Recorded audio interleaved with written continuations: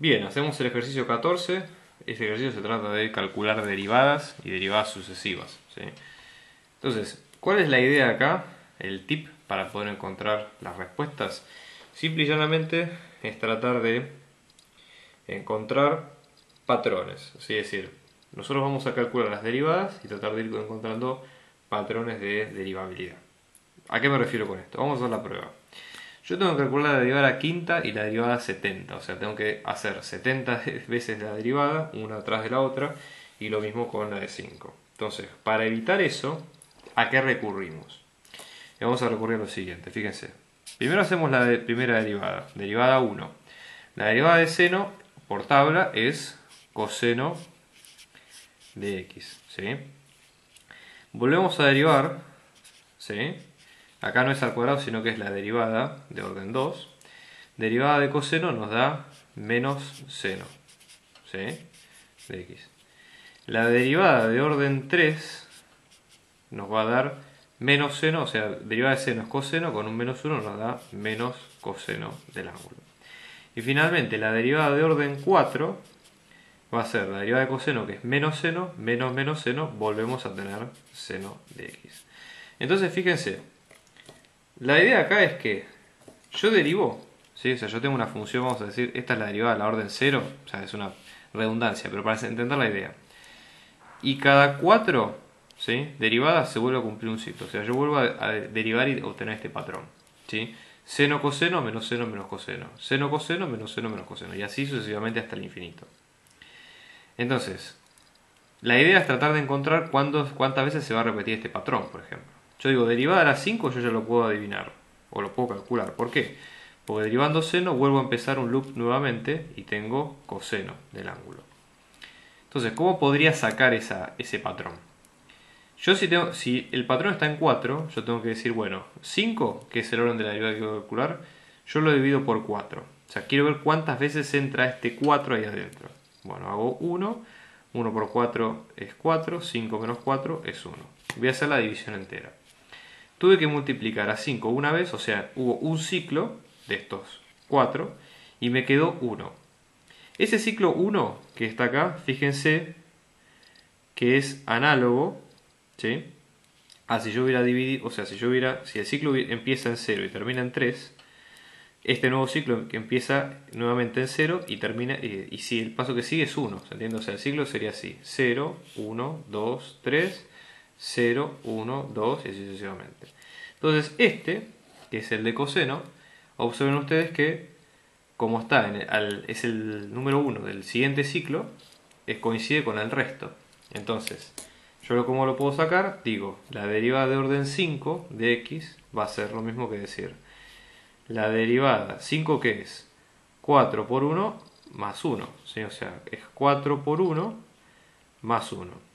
Y en este caso, la derivada, o sea, la derivada de orden 4 es la misma función. ¿sí? Entonces, la derivada siguiente, que es 1, que es este resto, me va a dar esa derivada que estoy buscando. La derivada en 5 es lo mismo que decir la derivada en 1, de estas 4 que yo me tengo que saber. Entonces, en ese caso, ahí ya calculo directamente que es coseno de x. ¿sí? Piensen lo mismo para el de 70. 70 dividido 4, digo 1 por 4, 4, 7 menos 4 es 3 bajo el 0, ¿sí? después le pongo un, eh, ¿cómo es? Acá nosotros tenemos, por, eh, vamos probando, ¿sí? Vamos por 7, 28 y cuando resto tengo 2. Entonces, la derivada de orden 70 me va a quedar lo mismo que la derivada de orden 2. Y la derivada de orden 2 es menos seno del ángulo. ¿sí? Con esto pueden ir ustedes calculando el resto. ¿Qué pasa en esta, por ejemplo?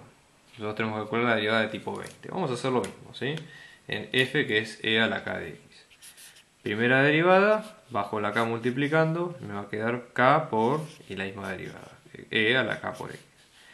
Segunda derivada, me va a quedar k, vuelvo, este k que estaba acá, nueva derivada que me va a quedar por k por e a la k de x. O sea, esto sería k cuadrado por e a la k de x.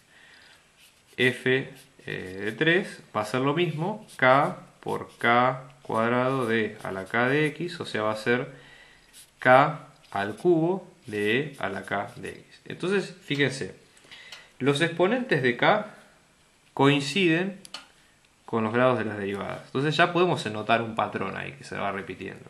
Entonces, al notar ese patrón, ¿qué es lo que observamos? Que la derivada de orden n de esta función va a ser k a la n por e a la k de x. En este caso, la derivada de 20 en 20, o sea, de grado 20 va a ser k a la 20 por e a la k de x. En el caso de es algo similar, observen.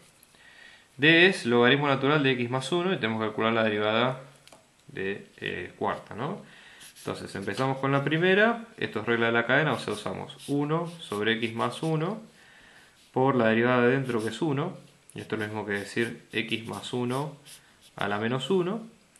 Hacemos la segunda derivada, acá aplicamos regla de la cadena, bajo multiplicando el menos 1 por x más 1 a la menos 2 y la derivada dentro que es 1, o sea vamos a tener menos 1 x más 1 al cuadrado, o lo mismo que decir menos 1 por x más 1 a la menos 2.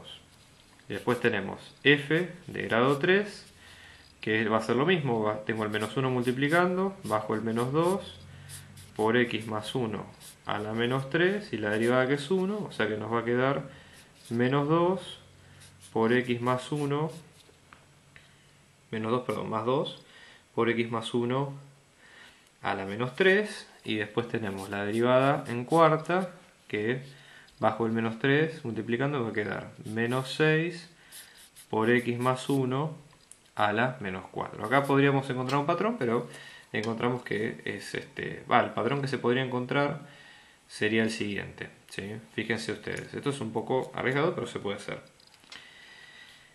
Este número coincide con este. ¿Sí? Entonces, este, la parte de x más 1 queda inmutable. O sea que esto sería x más 1 a la menos n. Si es la derivada de orden n. Pero luego tenemos, fíjense que el signo cambia. Es positivo cuando es impar y es negativo cuando es par. Entonces, para salvar esas, distancias hacemos menos 1. Como es positivo cuando es impar, hacemos 2n más 1. Si es impar, esto lo hacemos, perdón, esto sería 2n más 1 si es impar, menos 1 a la impar, perdón, este sería 2 a la n. O directamente n, porque tenemos menos 1 a la n, y esto sería, mejor dicho, n más 1, ahí está. Porque fíjense, menos 1 a la 1 nos da negativo, pero como le sumamos 1, pasa a ser, pasa a ser par. Cuando es par, se hace impar, y ahí cambia el signo. Y luego tenemos esto, los números multiplicando, fíjense. Para 2 aparece 1 multiplicando de grado 2. Para grado 3 aparece el 2. Para grado 4 ya aparece el 6. ¿Por qué? Porque nosotros tenemos 1, es lo mismo que decir 1 por 1, o sea, el 1 por 1. 2 resultó de ser 2 por 1. Y 6 resultó de ser 2 por 3 por 1. Entonces, esto se parece a un factorial, porque el factorial es multiplicar los números hacia atrás. Entonces, en este caso el factorial y es el factorial del número anterior a ese que estamos viendo. Entonces fíjense que el término general de esta derivada va a ser menos 1 a la n más 1 por n menos 1 factorial por x más 1 a la menos n. Y ya con eso tenemos todo. Obviamente que esto vale para derivadas mayor a 1 del grado de n. ¿sí?